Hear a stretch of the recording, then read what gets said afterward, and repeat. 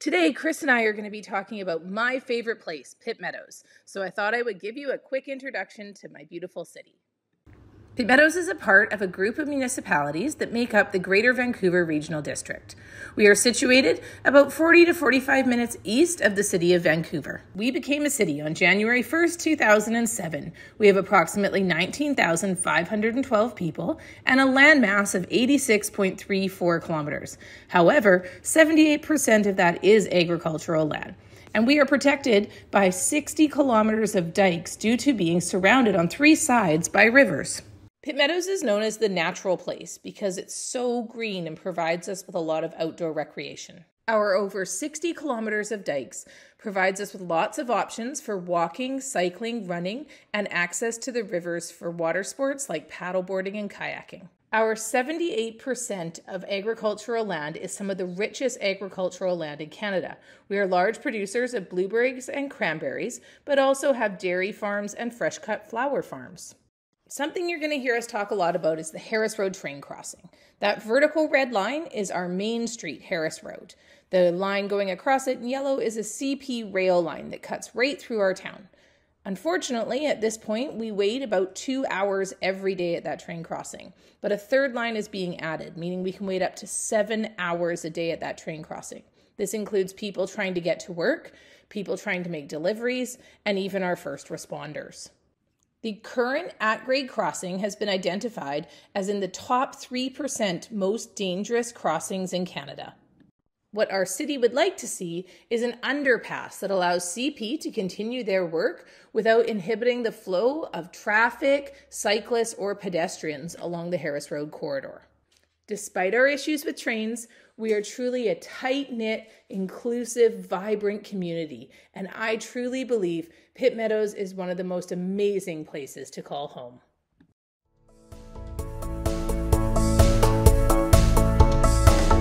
Welcome to the Cross Border Interviews. We sit down with local elected leaders from all corners of Canada on this show and over the course of this episode, we'll be learning about who our guest is, what drives them, and how they are working to make their community a better place for everyone who lives there. Now, today we are honored to be sitting down with City of Pitt Meadows, British Columbia Councillor Alison Evans. But before we do that, I want to take a moment and ask you to do a favor for me. If you can, hit that follow button, hit that subscribe button if you're watching this on YouTube. That is a small gesture in making municipal issues matter again. Your subscribing to our show makes us understand that municipal issues are important to you. So please hit that follow button or subscription button. Now, on to our interview. Alison, I want to thank you so much for sitting down with me today and talking about the city of Pitt Meadows and yourself.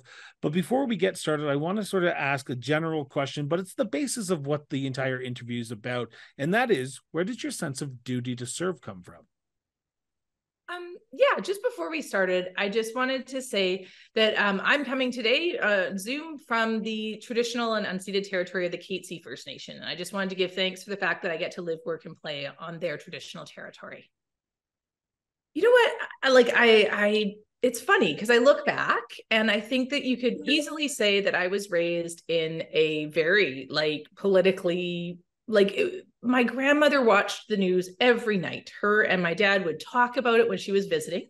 And so they were always talking about politics. And my dad is actually um, he was so engaged in municipal politics as a volunteer. He sat on numerous committees he would go to council meetings and, and i've spoken to the current new westminster mayor remembers my dad at those council meetings. And unfortunately when my dad passed away it was quite sudden. It was um, he knew i was going to run for council. Uh, we hadn't officially announced or really planned a campaign. But um, the the council of the day actually did a little thing in council for him because um, he was so engaged. He was just a citizen who wanted to have his voice heard and would approach council all the time. So I think that those seeds were planted in me from a very young age. It sounds like, and I could be wrong here, you wanted to follow in your father's footsteps, but you took it a step further and you actually put your name on the ballot. And I, I could be wrong, and I could I, I'm, I'm assuming here, and I should never assume, but I assume your father never put his name on the ballot to be a municipal councilor. Did he? No, he didn't. Um, he was on lots of committees, like and, and, engaged and stuff. Um, I look back though, and there was definitely signs. Uh, in high school, I sat on student council as the grade representation, and um, you know, so there were times where I would in grade three, I got to interview the mayor, and I look back and I'm like, oh, those were all little signs that yeah, I was probably gonna go this route. I think that I had his support, he would have been really like I think he would have been really really proud. He would have um, been my number one. He probably would have driven to Pitt Meadows and come to our meetings. so, but yeah, it was it was pretty emotional. He passed away before I could um, announce officially my candidacy or or sit or get elected.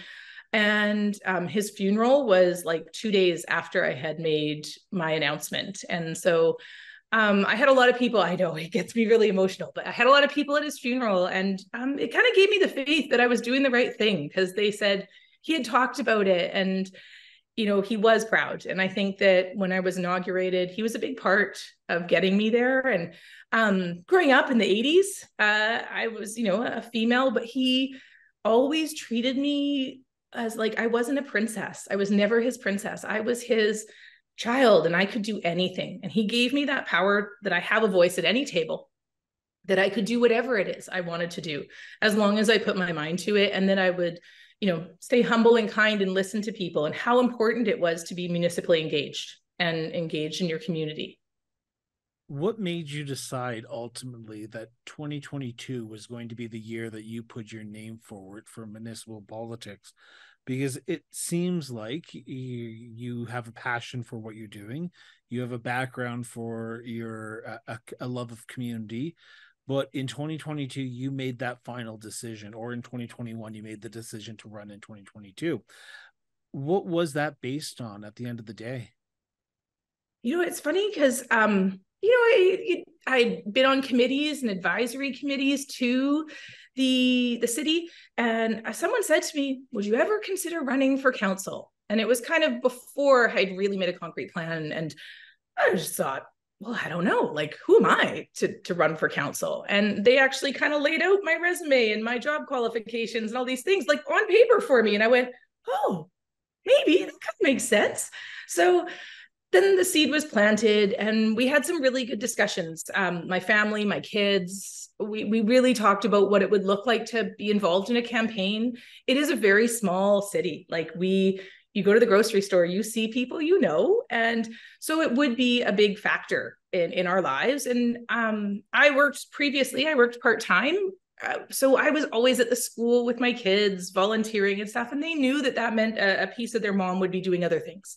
And we had really good discussion about it about a year before the election and then we kind of officially decided i think it was thanksgiving weekend that as a family we were in we were going to do this. And it was uh it was everybody was in. So that was sort of it was just somebody planted a seed and then it kind of just grew from there. And i'm very fortunate that um the council of the day uh, when i was planning i liked a lot of the things they were doing. They were uh, there was a lot of really good people and doing good things and i felt like i could just be an addition to that that it, it, didn't have to be a negative change campaign.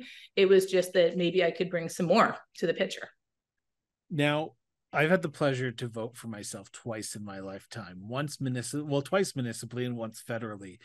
And walking into that ballot box and seeing your name on that ballot is a surreal experience in itself. And um for someone who grew up around politics, who grew up volunteering, who grew up with your a father who was engaged, walking into that ballot box, I can imagine, or voting online or however they were doing it at the time, because every province is different.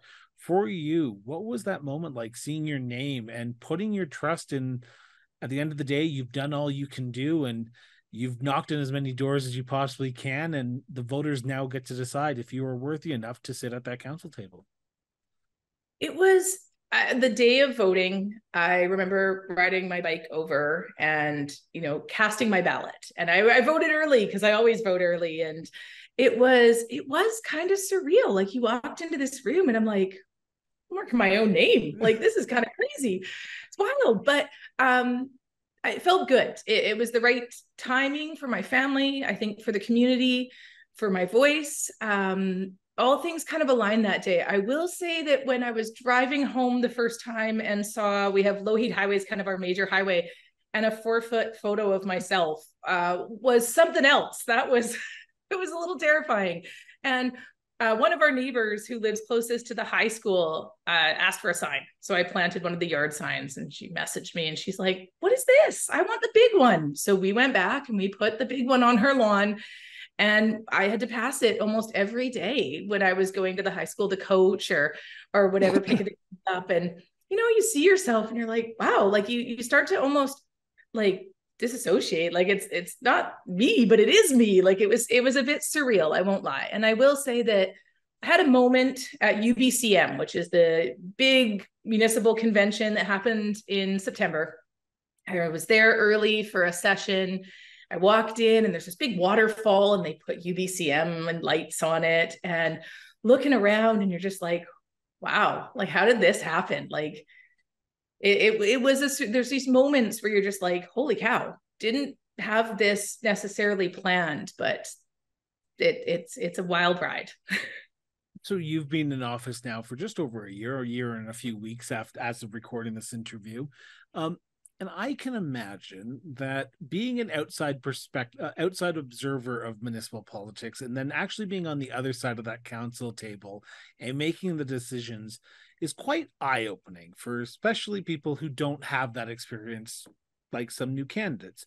For you, what was that big learning curve for yourself to make sure that you were prepared and you are still going to be able to do your job correctly? Actually, I want to rephrase that here for a second, if that's okay.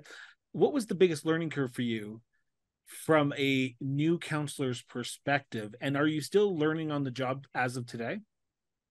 Oh, absolutely. Uh, easily learning on the job as of today.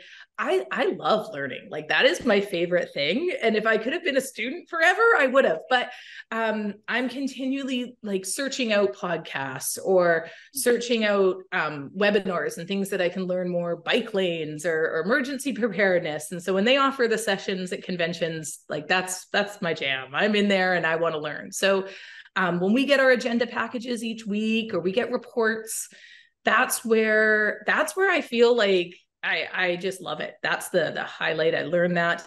Um, and listening to the feedback from the community to me that is that is huge like that's how i make my decisions i would say that biggest eye opener i had a really i had a pretty good idea of the job a lot of people will ask oh did it was, was it what you expected yeah it is I, I felt fairly sure that I knew what I was getting into, and I'd say it was pretty accurate. But I would say that my biggest did the weight of the decisions, the, the heaviness of making that decision is probably the biggest eye opener. And like everything that comes before us, I take very seriously. And I do my homework and I ask questions and I want to have the we're we're very lucky in Pitt Meadows. We have a very engaged community and they will email and they will stop you at the grocery store and they'll come to council and that to me helps. Uh, when I hear those voices comboed with wonderful staff at City Hall who will answer my questions when I fire them off, even last minute that they pop into my head. But I would say, you know, the the actual the seriousness of the the things that you're making decisions on and and thinking about the future of those decisions and how you could affect. And it's it's not that I didn't think this the decisions would be serious. I think that just sort of the the bigger picture of like my voice is an important part of it you must have listened to my show once or twice because you, you've just picked up on a question that I'm about to ask you. When I asked the that question, I follow up with this is you do have a weight on your shoulders, and it's a very important weight because the decisions you make impact your residents the day after you make them the decisions you make the next day people are feeling those impacts whether it be service levels whether it be a budget this that or the other zoning bylaws. You make them you are the government of proximity according to scott Pearce president of fcm and that weighs on people because you have to live in your community. You don't go to victoria to do your job. You don't go to ottawa to do your job. You were in pitt meadows the entire time.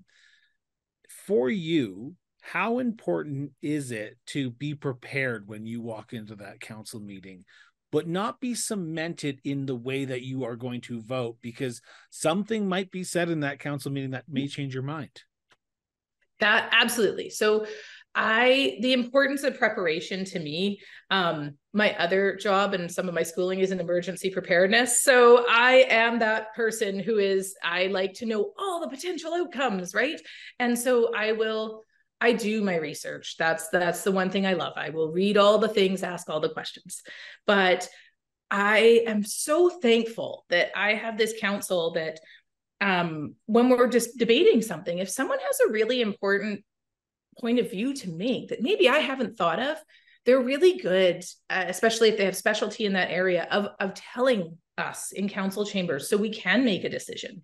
And it's happened. I've gone in there sort of thinking I'm going to go one way and then you hear something and you're like, "Wow, like that's a really good point of view." Or maybe a citizen has said something or staff. So I'm never like 110% there's always the probability that like or possibility that someone could say something and you just hadn't thought of that point of view but i'm so thankful that our council is really really um, open to explaining their decisions and and their point of view and taking a moment to speak about how they're going to vote and that that really helps on the flip side of that, you I'm assuming you engage with residents as well uh, on particular contentious issues, and I'm assuming there might have been a few. I'm not 100 percent sure, but I would say that there's probably a few that you can look back on and go, yeah, there was a few contentious ones.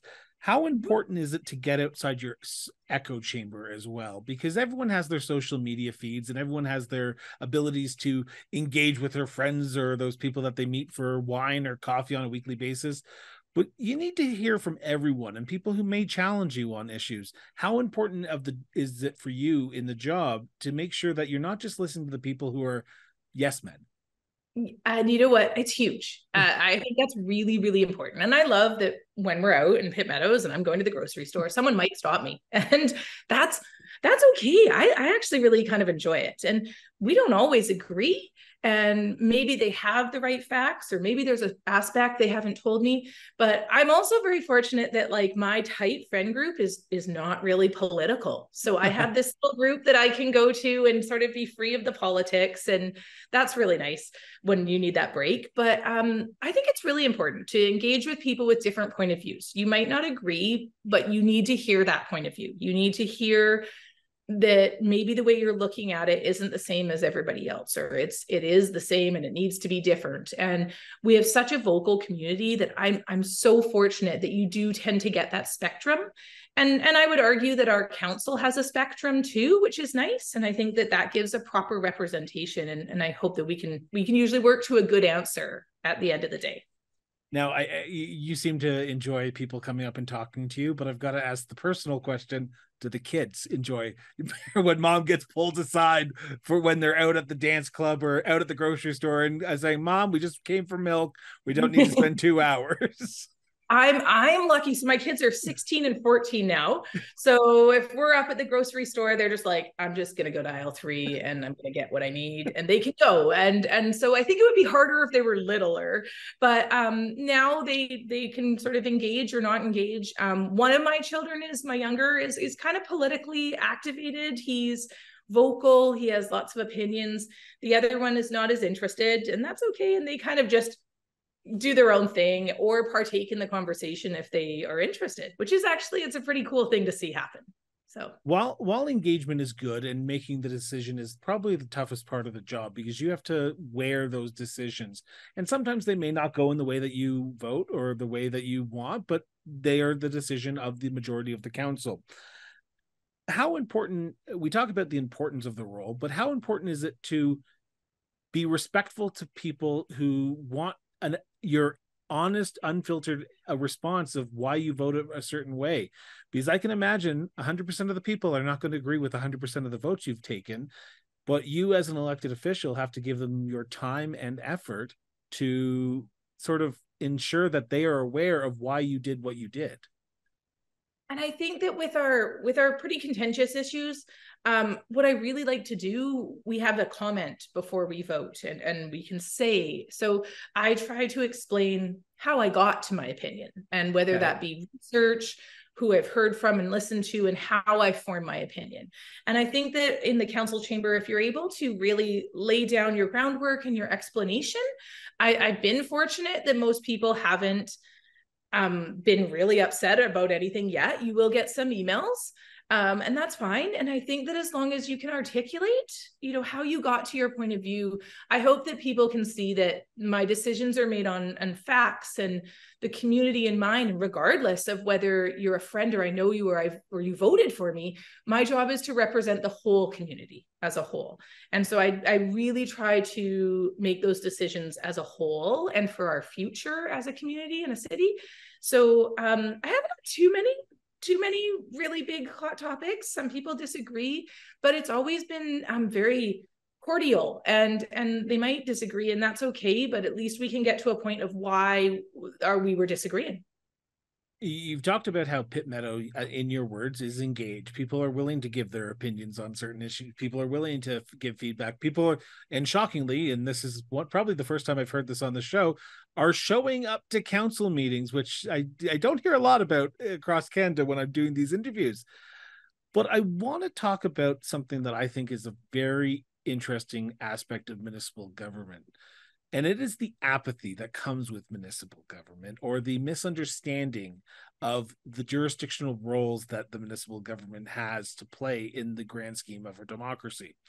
When people are engaging with you, are they engaging on the issues that are in the actual municipal jurisdictional roles or are they talking about provincial issues are they talking about federal issues school board issues is there an understanding in pitt meadows that wastewater sewage roads, infrastructure is a municipal issue, healthcare, school board, provincial issue, passports, federal issue? Or are they just wanting someone to fix their issue no matter who, what level of government it I like I think it goes both ways. There's lots of time where people are very informed in Pitt Meadows and they will they know who to go to. Um, they go to council for municipal issues and and I feel fortunate for that and I'm happy to coordinate or comment on that. Um, do they come to us sometimes for a pro- provincial issue, or actually sometimes it'll even be an RCMP issue that is is policing more than it is, you know, city. So um, sometimes that happens, but they're usually like we, our staff and CAO, they do a really good job of directing them to the right resource. So at the end of the day, they're usually directed to the right person, and that's okay. Sometimes you start with what you know in here in Pitt Meadows, and we can get you to the right place. Um, sometimes they come to us and ask for advocacy, which I think is, is part of our role to reach out to the province, to reach out to Ottawa and say that this is what my city needs and these are your areas, but you need to hear our voices. And so sometimes going to the wrong spot gets you to the right spot, and, and that's okay too. Um, but I would argue that most Pitt Meadows residents are very they're well informed and and and they hit it usually pretty on the target. For them, good for Pitt Meadows. That's all I can say. I, I want to turn to my next the second segment of the show, and before I do this, I'm going to preface this conversation with this statement.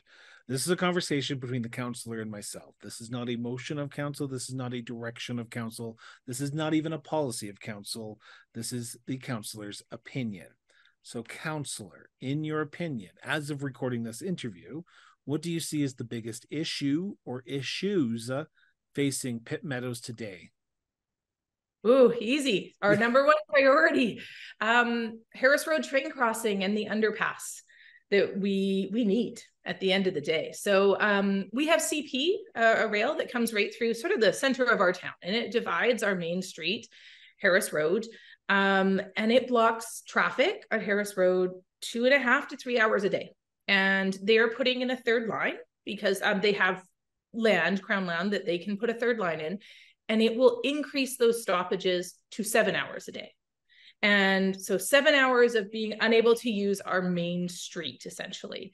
Uh, it's huge to us. I mean, that is economically speaking um, for businesses along that corridor, for workers getting to work, our commutes in and out of the city, and and arguably for safety. Um, it is the top three percent in the top three percent most dangerous crossing in Canada. It it's an at grade crossing right now, and um, it's it's scary because you're you're crossing, you're in traffic. There's trains we're very fortunate that we haven't had a, a major uh, incident. There have been some smaller ones, but it, it's it's it's a scary crossing, and I think that it inhibits everyone's ability to flow here in Pitt Meadows and do what we want to do, and um, it's it's a concern. And so, what happened was in 2017, uh, the Vancouver Port Authority and CP came to this council of the day and said, we would like to make an underpass because we know that this is a stress on you.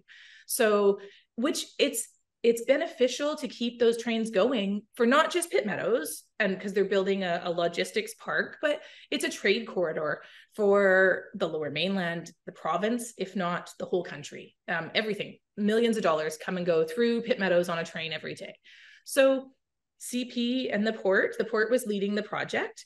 And these designs were amazing. I was on the active transportation advisory committee at the time, and we got to include bike paths and how we were going to build those in. And it's it's a beautiful project. It was, uh, I think it was estimated at 65 million at the time. I, I, I because? I know that number is going to be much higher in 2023, but it's sad that it's so much higher and and you know with inflation with all the delays of covid but also there were like um in Pitt Meadows there were they did the ground and it was it was going to be more complicated to build this with the ground and I, i'm not an expert or an engineer but I guess it was much more complicated. And um, the price ballooned to over 195 million, is my understanding. And yeah, like three times For those who are not watching this episode, I just gave the Wiley Coyote eyes popping out, going, "What? 195? Wow, okay." Ah, and and so work was done um, by the ports and by CP to try and secure more funding and shift funding from other projects, but there was a gap, and the gap was over 50 million. And they came to our council in March and said, "Would you guys fund it?" And man, there were some sleepless nights, I will tell you, because my city needs this underpass for us, for safety. I mean, getting ambulance and fire across and police across, we need this. It's it's it's it's so important. I, I don't even have the words to express how much it means to our community. But that meant tax dollars. It meant going to um, an assent of the elector, and basically every house in Pitt Meadows was going to owe about nine thousand dollars so we looked at $300 a year for 30 years on your taxes, if you want to put it that way.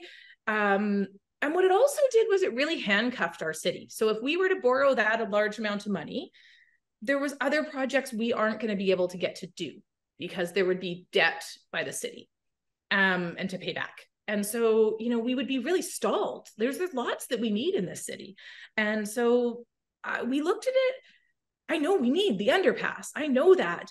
But putting it on the residents' backs of Pitt Meadows when it is such an important trade corridor that essentially is so important to our whole country felt very unfair. It felt and and so we had a vote. We had a very short time period. They wanted us to officially sign on right away. And um, there was kind of like a, a five million dollar you sign on yes and if the project doesn't go you don't get that back deposit. And yeah. And so i felt very uncomfortable with that too. 5 million in my community is big. And and so with just all the unknowns still um, our council voted and we we we had an open house and we engaged the community but we voted unanimously no not to take on that debt. Um, was that heartbreaking? Because now our project is has has sort of stalled essentially. Yeah uh there was a lot of sleepless nights. There was a lot of like it's it's the number one topic when you're out on halloween and you're walking around your neighborhood. It's how's the underpass? And so but i will say this much um our mayor is just that's that's like she just keeps going. She is on this. We are talking at ubcm our minister meetings um, she's sort of advocated we just released a whole bunch of letters to ministers, um, really, really asking them to consider for the funding, as well as we have the support of the Metro Vancouver mayors. Like they have all written in and said, yes, this is important, not just for Pitt Meadows, but for everyone. So the background work, while it sort of seems like you don't see any shovels digging on Harris Road, it is happening in the background. And so there's a lot of advocacy. Our staff, our mayor, it hasn't stopped but is absolutely our number one biggest issue. So I'm going to play in the sandbox for a little bit, if you don't mind, and I'm going to sort of because for those who are listening outside of Pitt Meadows, they may not know this, but maybe you'll be able to rant or ramble this off very quickly. Um, you're talking about a project that seems to be a, a priority for this council. You're talking about an underpass that could be, if not completed, uh, up to a seven hour a day wait or seven hours per day, where the main street of your community is completely closed down, which is would be horrendous for any community, let alone the entrance into the lower mainland BC. Uh, while there's a third line still coming in, I'm assuming, I'm going to assume that they're probably not stopping that work. They're probably still going ahead with that work. So, what do you see as while the advocacy work is great, while you need to advocate for more funding from the provincial and federal governments, you're stuck left holding the bag. You're st- mm-hmm. stuck there going, okay, we voted against it. We had our reasons to do that because we didn't want to put it on the backs of our residents. But now our residents are asking, what's next? So I'm going to ask the semi million dollar, well, literally the $50 million question here is what does Pitt Meadows do in the short term to alleviate some of these potential stoppages in your main corridor until an underpass is built? Oh, and that is that is the difficult. Um, we we do have another exit on the south yeah. of Meadows and Airport Way. Um, it was just widened to two lanes. And one of the unfortunate parts is it bottlenecks at a, a, roundabout that is not owned by the city. So we are also advocating for having that situation resolved. And uh, I mean, we're trying to improve in terms of signage and, and safety and awareness um, because the crossing itself is dangerous for pedestrians, for cyclists, all of that. And, and right now, I mean, those measures, sure, they, they feel like a bit of a band aid. Like we are doing our best to make it known to get the word out. And and i would say that again like our mayor has been so instrumental in in sort of gathering other cities to really promote it too. But at the city level at this point we either plan a route around or we sit at the crossing. So as we have listeners in ottawa and for some reason we have an amazing amount of listeners in the uh, ottawa hub and i mean right downtown ottawa because we look at the algorithms on a weekly basis what would you want from the federal government? And I know I'm asking you as the counselor, and I know this is more uh, you're looking at the provincial government right now, but the federal government can come to the table as well with this help because they're always looking to potentially hand out money. So is are you looking at the federal government for help as well or is this more of a just provincial matter and you're looking at uh, Premier Eby to come to the table with 50 million dollars or probably a little bit more now after everything that we've gone through since March but are you looking at both governments or you just is it more provincial government that you're looking at?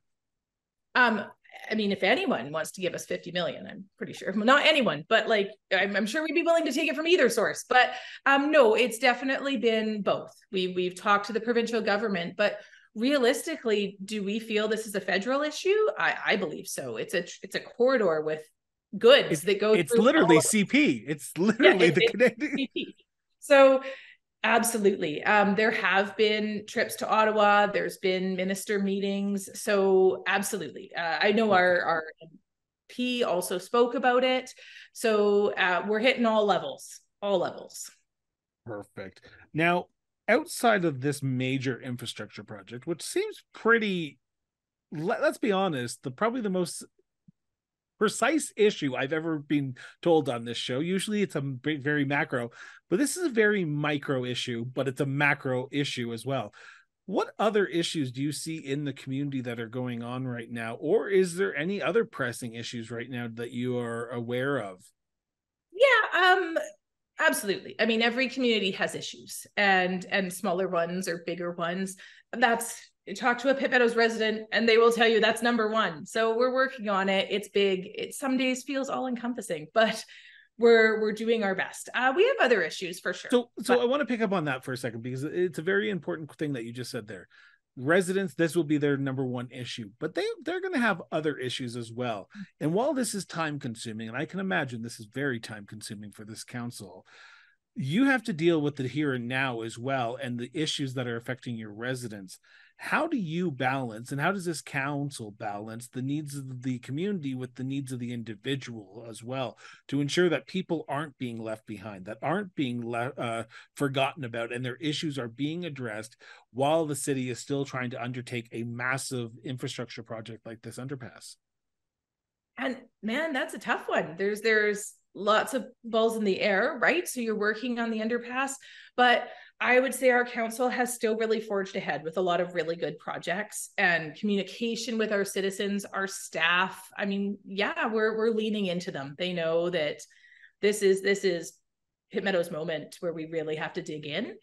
And um, we're very fortunate. We have wonderful staff, and I would say our mayor is is has been working overtime. I know she's putting in the hours. So um, some of the issues that we've seen so far. So when elected, we had uh, firefighting from 6 a.m. to 6 p.m. And then we relied on voluntary volunteer firefighters paid on call from 6 p.m. to 6 a.m. So we've never had full time fire in Pitt Meadows.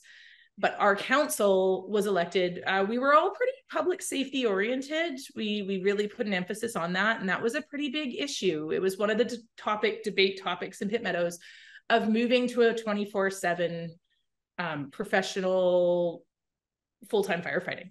And uh, it was one of the first things we tackled. And even during this underpass issue we dug in and we have now as of june 5th we had 24 7 fire. And that was one of my my probably i slept great that night. Uh, it was the, it was this breathe this breath of relief that we we had really done something for our community. And uh, we're so thankful to the existing firefighters because we went from eight to 16 uh, or to yeah 16 so we doubled our fire department which is a huge task. Um, we had these trainees who had to hop in there and get trained really quick. We had the the existing crews who had to help train these people.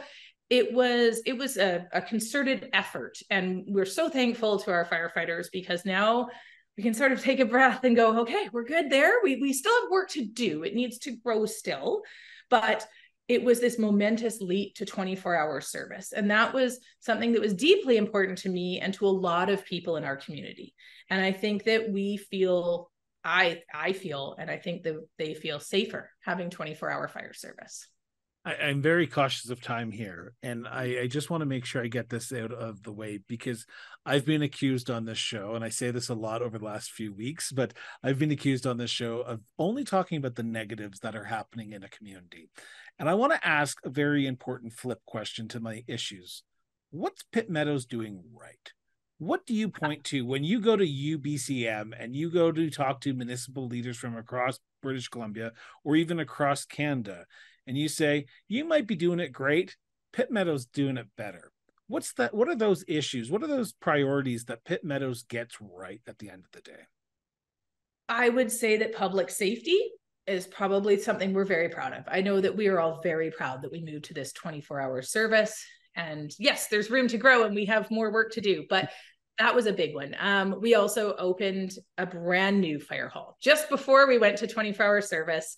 Um, we are working on getting our own autonomous RCMP. So we now we share that with Maple Ridge, which is like right across from us. Um, it's called the Ridge Meadows RCMP. But I have soon, I have family in Maple Ridge. Ah, there we go, not far. and so um, we will have our own RCMP in here in Pitt Meadows. And I think that's really important. Um, it's something that we've done, we're going to do well, that we can really tailor what that police force looks like to this community we have different needs than the communities around us. And i think for the the money that we're going to spend which all all of the studies said that we'd be better off on our own believe it or not that we're going to see a, a better use of our police service here. And it's going to be good. Not that and we love ridge meadows rcmp but i think that and they agreed that splitting was going to be a good thing for pitt meadows. That's something we're doing really well. Um, i would say that you know what our council as a whole, something that was really important to the voters that we kept hearing was decorum, professionalism. You don't always have to agree, but you don't have to get into name calling, cat fighting, that kind of thing. So um, I am so lucky that the people I serve with, we don't always agree. We vote differently, but the level of just working together towards a common goal. At the end of the day, we're going to do what's best for Pitt Meadows. And sometimes your vote is right and or right or goes ahead or not. But we all know that at the core, the person has the best interest in Pitt Meadows in mind. And it's good to have a spectrum and, and differing opinions, and it's okay. But we we kind of genuinely like each other. Like we all get along. And when we go to conferences and stuff, we sit at the same table and we we text message and walk there. We carpool places. And i think that seeing that people can disagree at a council chamber with a vote but that we see the good in the person and we can appreciate where they're coming from and that we just are have the ability to keep things professional and um, some people will disagree with this but kind kind is mm. good too. And and at the end of the day when we make this vote and we disagree it's gone we move on and, and we go back to getting work done. Now you've been in the position for just just over a year now and you have three years left in your first term. And i know it's always hard to put yourself in a time machine and say okay i'm going to put myself into the next election and decide if i'm going to run for reelection or just walk away after first term what do you see as your priority over the next three years that if you woke up the day before the nomination date in pitt meadows in the next election you say i got it done. I've left pitt meadows a better place. What would you what would you what would that issue be for the next three years for yourself? And not for council but for yourself to get accomplished. Oh you know what? I think before if you'd asked me this a year ago, it probably would have been the fire because that was I was very passionate about that. That was something that meant a lot to me. And while we still have work to do, we we it was a step in the right direction. Um man, now, you know, it's it's really important for me to see the Pitt Meadows Autonomous RCMP when we get this set up and running um, it's really important for me to see that tailored to our community and working smoothly and really giving them the police resources and, and service that our citizens deserve. So those were two really big issues to me. Um, obviously, if I saw that underpass go in, I would feel pretty good about myself. I would like not just me, the whole city. I would feel, feel pretty accomplished. But you know there's lots of little things that that still need to be done. And um you know we, our council's done a lot. Like we changed we had this uh Pitt, miss pitt meadows day and it was you know the the crown and the cape and the frilly dresses and had been that way forever. But our council decided that we were going to be a little more progressive and we changed the name to the pitt meadows youth ambassadors and we took the gender out of it. You could be anything and and and volunteer and we really wanted to make them more than just the pitt meadows day. We've incorporated them all year round. And that was something that i just i know. And and watching um the we have like a leader in the group the the the sort of head of that group but watching some of them step up when the the the leading one couldn't be there. And uh one of them spoke at canada day and it was it was moving. It was to watch a youth be empowered to step up and speak to the crowd and and seeing that we're really doing something good there to make it open and break down sort of the barriers that some kids would have had for applying that program that one was another checkbox for me. So i just see these little things um, keep coming. And I, every time a little thing keeps coming i want to do one more and one more. And so I don't know if there'll ever be like a one issue that would make me go, I'm done, I'm out. But um, not yet, at least, not yet. I'm going to kind of ask a very personal question right now. And I apologize if this comes out of left field, but in the 40 minutes that we've been talking, it seems that you are truly wanting the betterment of your community. You are engaged with your community. You are actively looking for solutions for your community. And I'm going to bring up something you talked about a little bit earlier your dad. Your dad was engaged in his community as well. He wanted the betterment of the community. Unfortunately, he didn't get to see you on this council. Do you think he'd be impressed of how you've handled yourself over the last year? Uh, I think that we would have had some great discussions. I think that some of the things would have been awesome to be able to bounce across him and, and get his feedback and how he would suggest looking at um he always had a different pers- sort of perspective sometimes than I did And I think it's tough because you're like, you sit there and you're like, some days, like, what would he think? Right. Like, it would be really interesting. Um, he wouldn't have been interested in social media or you know any of that. He probably would have looked. Is at anyone campaign. really a, a fan of social media? oh, it's the necessary evil, right? We got to do it, and I think that I like to think at the end of the day, he would have been, regardless of the decisions I make and whether we would have agreed or not agreed. I think he would have been proud of the fact that I stepped into this role and stepped up and asked to be voted for, which is kind of out of my hmm. normal realm of comfort um, in previous careers. So I, I'm a 911 dispatcher. I sit behind a phone. No one sees me. So to be out in public and, and sort of ask for those votes was was challenging for me. So um, I think he would have been really proud. I, I I take a lot of solace in that that he would have be very very proud you you talked also about how one of your children is politically active and willing to give their opinion from time to time. After a year in office would you ever recommend it to your children to get into the political realm if they came up to you and said mom i'm thinking about it you know what? And I, maybe this is naive because i'm only a year in but you know it is it is validating when you see the things get done. When you see those moments where you're like man we worked and we voted on that and that was an issue that we hit and and here it is happening. And june 5th you know all of a sudden we had 24 hour fire service and i went whoo like wow like that's big. And so, and then watching the Pitt Meadows ambassadors get up, the youth ambassadors, and seeing them out in the community. So you see these little things you're doing, which I think is super cool. And I think that's something that's really municipal about the position. Um, you get to see it firsthand. And so I, if if they came to me, I think that they've seen enough in the background of, you know, me growing gray hairs over an overpass and stressing and sleepless nights and all the work that they see me do in terms of reading and information and um, working through my decisions i think they'd be well informed. I think that i would i would probably encourage them to do it because you know it's it's, it's a pretty it's a pretty interesting position to be in. You you get all sorts of information at you. You got to make these decisions. And genuinely i feel like they've trusted me with those decisions. That means a lot to me and and i would honestly think that my children see that. They see that that you know i'm entrusted with making a decision and how important it is.